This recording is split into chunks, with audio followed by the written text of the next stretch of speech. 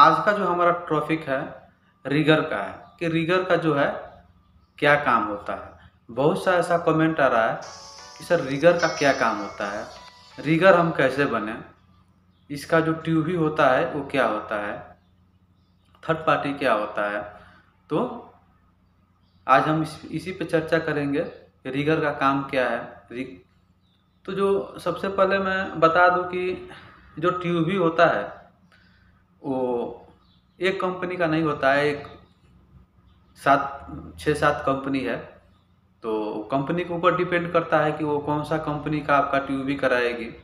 जैसे विलोसी हो गया एबीसी हो गया विल्टस विक्टास हो गया, ऐसे बहुत सारी कंपनियाँ हैं। और कहाँ पे कौन सा मतलब कौन सा कंपनी का वैल्यू ज़्यादा है, उसके हिसाब से जो है कंपनी जो है, ये ट्यूबी कराती है या थर्ड पार्टी कराती है। उसके बाद जो रीगर का काम होता है रीगर का काम जो है, बहुत क्रिटिकली होता है, बहुत रिस्पॉन्सिबिलिटी वाला काम होता है, क्योंकि अगर रीगर जो है, एक छोटा सा मिस्टेक मिस्टेक करता है तो बहुत बड़ा एक्सीडेंट हो सकता है, बहुत बड़ा हादसा हो सकता है। रीगर जो है क्रेन के साथ बूम ट्रक के साथ हाइड्रा के साथ, या मैनुअली भी काम करता है। जैसे अगर क्रेन पे काम कर रहा है रीगर तो उसका जो रिस्पॉन्सली है, वो देखना उसको पड़ता है कि जो हमारा लोड है, कितना है क्रेन का जो रेडियस है, कितना बनेगा, उसका कैपेसिटी कितना बन रहा है, जो हमारा लोड है लोड को हम किस तरह से सेफ़ तरीके से एक जगह से दूसरे जगह रखेंगे, ये पूरा रीगर का रिस्पॉन्स होता है। रीगर की जो है, रीगर की ज़िम्मेदारी होती है कि हम जो है इसको इस लोड को यहाँ से और जहाँ पर शिफ्ट करना है, किस तरह से करेंगे, उसके लिए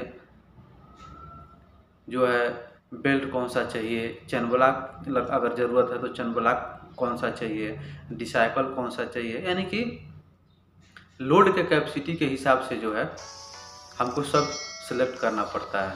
उसके बाद जो रेडियस होता है क्रेन का रेडियस देखना पड़ता है कि हमारा जो लोड है वो इतना रेडियस में क्रेन जो है लिफ्ट कर पाएगा कि नहीं कर पाएगा, वो देखना पड़ता है। उसके बाद मस्ट टैक लाइन होता है।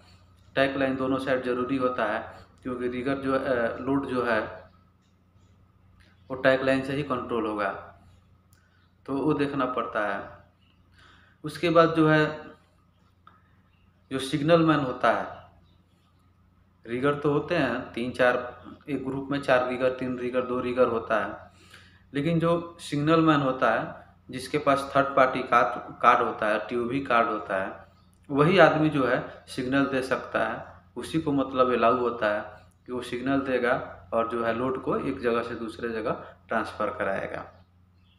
तो रिगर का जो काम है, ये बहुत क्रिटिकली होता है और इसके लिए मतलब जो नए रिगर हैं बहुत सा ऐसे भाई लोग कमेंट कर रहे हैं कि, सर, मैं भी रीगर का काम करना चाहता हूँ। तो रीगर का काम कोई मतलब ज़्यादा पढ़ाई लिखाई करने का ज़रूरत नहीं है। अगर हम आठवीं पास हैं, दसवीं पास हैं तो रीगर का जो है काम कर सकता है आदमी।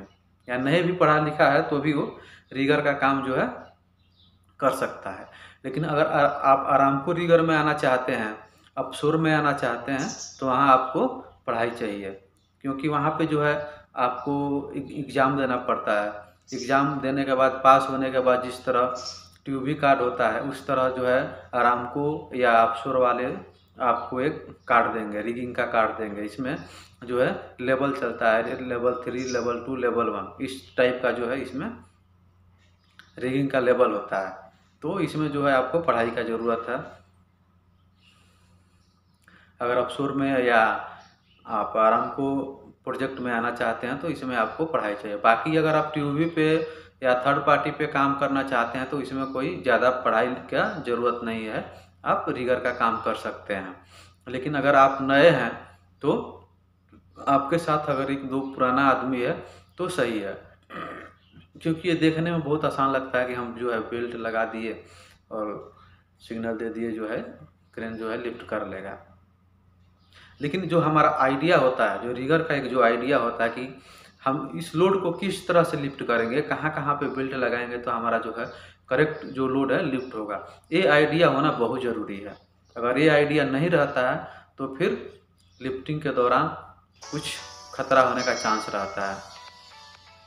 तो जो है, यही सब है। रिगर के लिए जो है रिगर का जो काम है क्रिटिकली काम है